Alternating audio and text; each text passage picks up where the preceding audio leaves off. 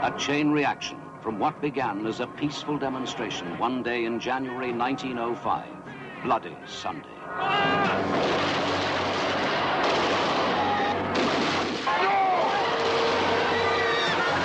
How many dead? Who ordered the shooting? Hundreds of bodies. Nobody ordered it. Someone's responsible. Nicholas, the murderer. You ask me who's responsible. You ask.